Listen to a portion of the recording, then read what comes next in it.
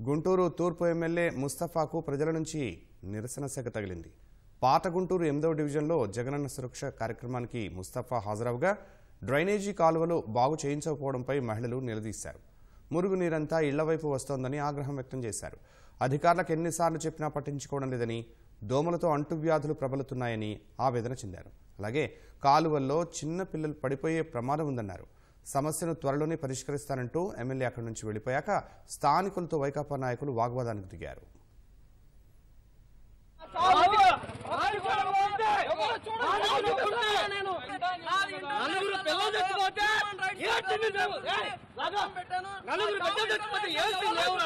రోడ్లు మా ఇంటి ముందుకు వచ్చి నలుగురు బిడ్డలు బిడ్డలు ఫోన్ చేసి లేవు నా కుటుంబ సభ్యులను ఇబ్బంది పెట్టి పోలీసు వాళ్ళు వెళ్ళి తీసుకొచ్చి దౌర్జన్యం చేస్తే మాత్రం నా చావు ప్రపంచంలో నువ్వే నా బాధ్యుడివి. చావు చూపిస్తానన్నా నువ్వే బాధ్యుడివి. పది నిమిషాలకు ఒకసారి వచ్చి మమ్మల్ని మీకు ప్రెసిడెంట్గా మీకు చెప్తున్నా నా చావు ప్రపంచంలో ఎక్కడ చూడాలని చావు చూపిస్తా. ఎలక్షన్ అప్పుడు మా మేనల్లుళ్ళు మా తమ్ముడు కావాలా ఎలక్షన్ మా తమ్ముడు తీసుకెళ్తారండి వచ్చి ఇంట్లో ఉంటుంది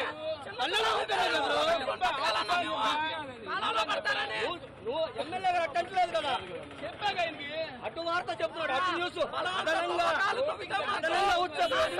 చేస్తున్నారు ఇంతవరకే చూడని విధంగా ఘోరంగా చూపిస్తా